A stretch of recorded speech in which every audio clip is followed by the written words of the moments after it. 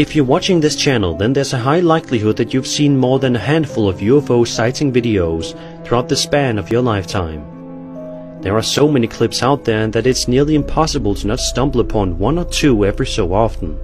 But I'm willing to bet that you've never seen a UFO quite like this one before.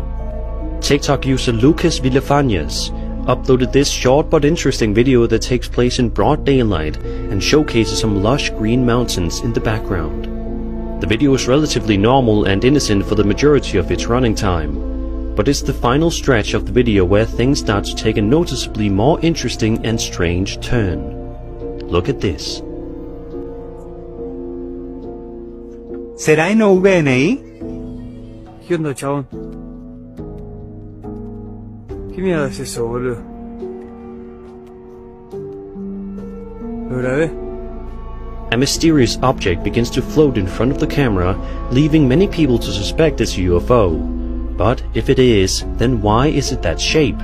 It almost looks to be a plank or something. To this day, nobody has been able to decipher exactly what was going on in this video, and it's unlikely that anybody will ever be able to get to the bottom of it. So, what do you think? Is this a strangely shaped UFO? Something else entirely? Or was this whole thing faked? Be sure to let me know your thoughts in the comments below.